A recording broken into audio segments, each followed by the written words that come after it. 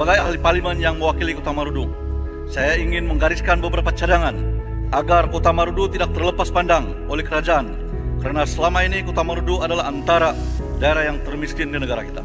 Saya mohon Dewan Yang Mulia ini agar kerajaan persekutuan dapat membantu kerajaan negeri Sabah untuk mengupgrade ataupun menaik taraf dengan izin.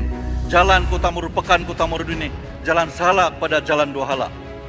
Terdapat jalan-jalan kampung menghubungkan kawasan pekan Kota Marudu dan juga perkampungan yang langsung tidak dapat dilalui kenderaan biarpun kenderaan pacuan patruda lebih teruk di musim tengkujuh kerana jalan-jalan ini rosak teruk tanpa penyelenggaraan.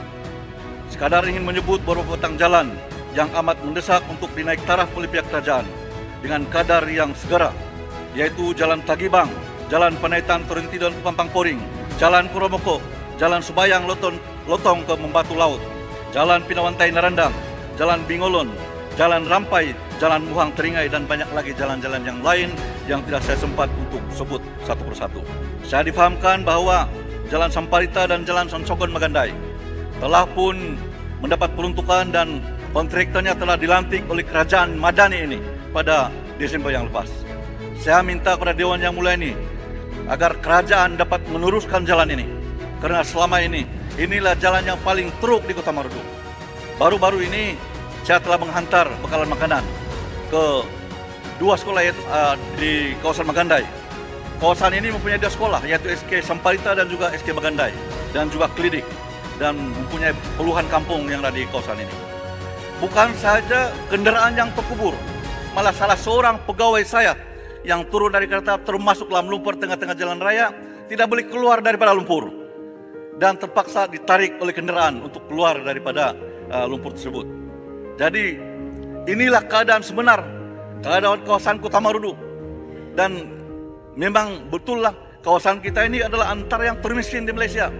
Masalah bekalan listrik yang sering terputus, bekalan air juga yang sering terputus, sehingga beberapa hari ada yang makan masa hingga berminggu. Ini harus diutamakan untuk diambil tindakan dengan segera oleh kerajaan. Kota Marudu perlu pembinaan empangan yang baru bagi menampung keperluan rakyat di kawasan ini.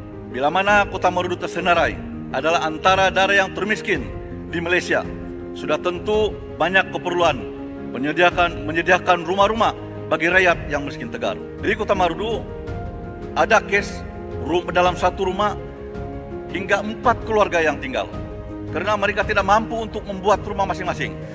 Sebab itu, dalam ucapan saya ini saya menyuruh agar mohon kepada kerajaan skim program perumahan rakyat termiskin yaitu PPRT yang sering kita sebut dapat diteruskan serta dipertingkatkan demi kemudahan dan kesejahteraan rakyat khususnya rakyat di Kota Marudu. Berhubung dengan perkara ini saya juga ingin mohon kerajaan supaya bukan saja tertumpu pada pembaikan sekolah dan klinik tetapi juga melihat keperluan untuk menaik taraf hospital yang juga tidak menampung keperluan semasa malah banyak peralatan yang tidak berfungsi yang berlaku di hospital seperti di Kota Marudu. Saya ingin bercerita sedikit. Banyak keluarga yang datang ataupun penduduk yang datang dengan saya mengadu.